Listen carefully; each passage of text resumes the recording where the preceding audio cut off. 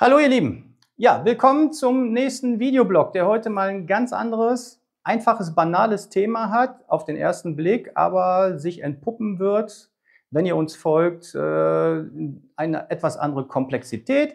Meine Partner Bernd und Andreas helfen mir dabei und euch das zu verstehen, weil sie werden ein paar Sachen demonstrieren. Das Thema ist heute Arbeit mit dem Sandsack. Wie macht man die sinnvoll? In den klassischen Erläuterungen beziehungsweise auch in den praktischen Umsetzungen heute, in fast allen durchgängigen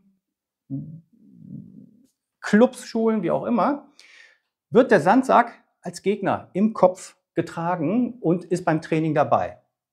Das heißt, wenn ihr mal Videos betrachtet, wo Menschen am Sandsack arbeiten, seht ihr sehr oft, dass es schon einer Kampfhandlung ähnelt oder die Menschen sich vorstellen, in einem Kampf zu sein und der Sandsack den menschlichen Körper darstellt.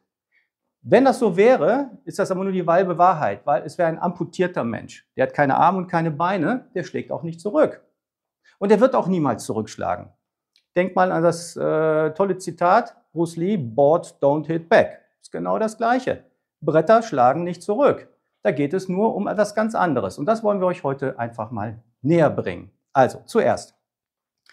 Der Sandsack ist eine tote Masse. Je nachdem, wie viel er wiegt, 40 Kilogramm, 50 Kilogramm, was auch immer, die Masse ist eine tote Masse und die macht nichts außer da zu hängen und die wird auch nicht auf euch zugehen. Die wird nicht auf euch einwirken, außer ihr setzt sie in Bewegung. Deshalb auch nur beim aufgehängten Sandsack, beziehungsweise diese Sandsäcke, die auf dem Boden stehen und ein bisschen wippen können.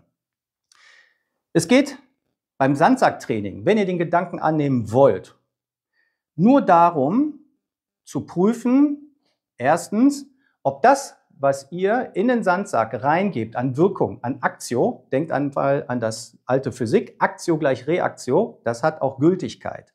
Okay? Bitte nicht ausblenden oder so tun, als gäbe es das nicht in der Kampfkunst. Aktio gleich Reaktio wird am Sandsack besonders deutlich. deutlich. Und das, was ihr hier reingebt, soll der Sandsack widerspiegeln.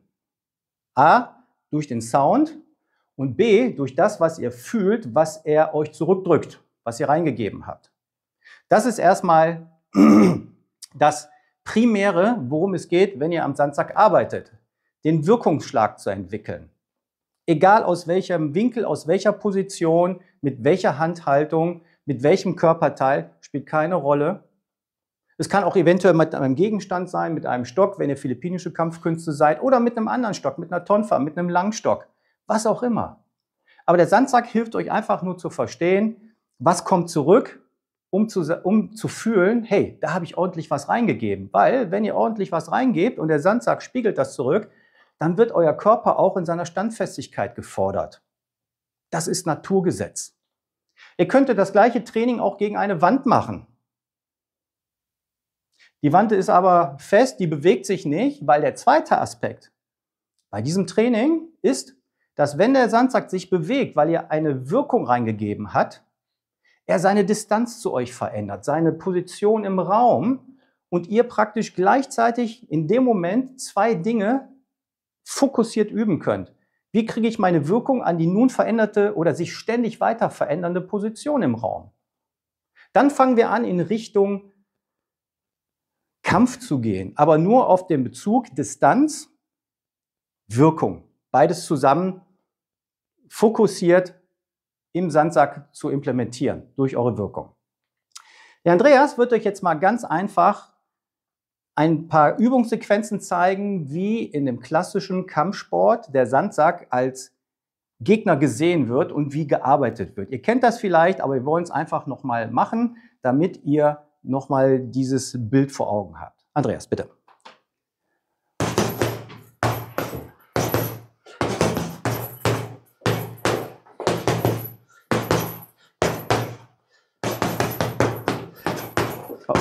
Okay, danke schön.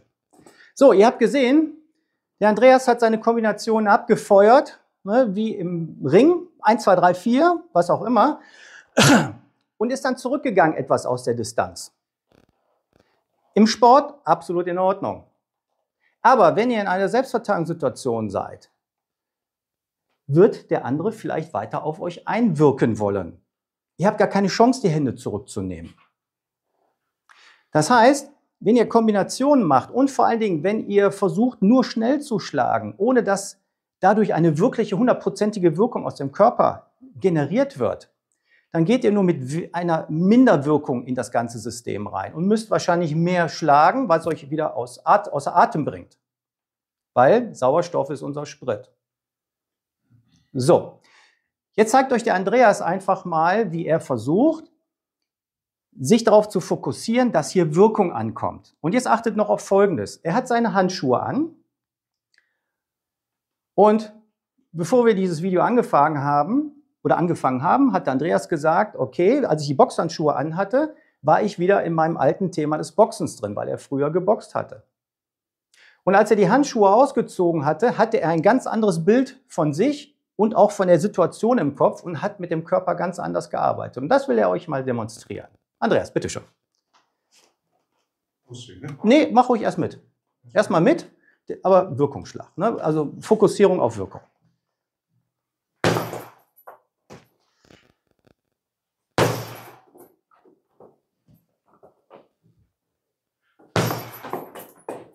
Okay, Dankeschön. So, und jetzt einmal ohne.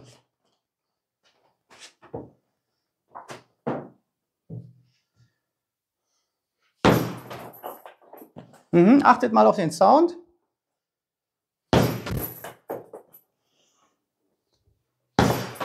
Okay, Dankeschön.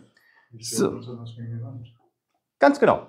Das heißt, ihr seht schon, der Sandsack er gibt zurück, er fordert den Andreas ganz anders in seinem Standing, aber er geht doch noch weiter nach hinten, weil durch die Standfestigkeit der Andreas dagegen hält. Und das Ding natürlich oder den Sandsack auch beschleunigt.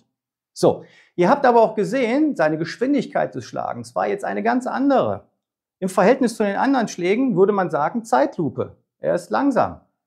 Aber sein Ziel war jetzt auch nicht, innerhalb einer Zeit vier Schläge anzubringen, sondern einer Zeit einen Schlag zu machen und den richtig mit dem ganzen Körpereinsatz. Daraus weitergehende Bewegungen zu generieren, die die gleiche Wirkung haben, das ist das, wo das Thema Kampfkunst und Lernmethodik genau einsetzt, um das zu vermitteln. Und jetzt stellt euch Folgendes vor. Das, was der Andreas gerade gemacht hat, mit dem Wirkungsschlag, müsst ihr hier drauf projizieren. Dieser Stock wiegt im Durchschnitt 200 bis 250 Gramm. Und wenn ihr den in der Hand haltet und macht schnelle Bewegungen, dann seid ihr nach kurzer Zeit ausgepowert. Hiermit einen Wirkungsschlag zu machen gegen ein Ziel, fordert genauso den ganzen Körper wie gerade ohne Waffe. Und das ist das Thema von logischen Kampfkünsten. Das heißt, diese Gegenstände, die allgemein üblich immer als Gegenstand zur Selbstverteidigung dann propagiert werden, sind eigentlich nichts anderes als Lehr- und Lernmittel, um den Körper zu verstehen. Weil, wenn ich den Stock hinlege und ich befehle ihm mental oder auch verbal, gegen jemanden zu kämpfen, kämpf. Er macht nichts. Erst mit mir in Verbindung hat dieser Gegenstand die Möglichkeit, eine Wirkung mit einer Reichweite zu übertragen. Mehr auch nicht. Ansonsten passiert nichts. Und das Gleiche gilt für den Körper auch ohne Gegenstand, was ihr gerade gesehen habt. Wenn der Andreas jetzt mit dem Stock gegen den Sandsack arbeiten würde, wäre es genau das Gleiche, wobei noch hinzukommt, wenn er ohne den Körpereinsatz schlägt und hier auftrifft, die Stabilität verloren geht. Was gibt das dann für einen Sinn, wenn ich so einen Gegenstand nehme, um mich damit zu verteidigen, wenn ich vom ersten Kontakt schon einknicke? Sondern ich muss hier stabil sein, die Wirkung muss übertragen werden, damit die Gegenseite sich auch damit auseinandersetzen muss. Und das ist das Thema, wo der Sandsack uns hilft, uns zu verstehen. Ihr könnt euch verstehen. Er spricht mit euch, wenn ihr hört, wie eure Faust beim Aufprall oder wie der Aufprall klingt, wenn eure Faust hier auftrifft. Ja, ihr könnt es gerade hören. Klar, mit den Handschuhen ist es dumpfer, aber man hört den Unterschied und vor allen Dingen, ihr müsst den Unterschied spüren. Ihr dürft ihn nicht in den Schultern spüren. Der ganze Körper muss sich anfühlen, als würde er in seiner Standfestigkeit gefordert sein. Das ist wichtig, weil dann habt ihr auch mit dem ganzen Körper geschlagen. Ist ja logisch. Schlagt ihr nur mit der Schulter und ihr merkt nach kurzer Zeit, dass eure Schulter brennt, dann habt ihr auch nur mit dem Schultereinsatz geschlagen. Merkt ihr euren ganzen Körper beim Schlagen und ihr merkt keine große Anstrengung, weil die ganze Last auf den Körper übertragen oder durch den Körper generiert wurde, dann habt ihr auch mit dem ganzen Körper geschlagen.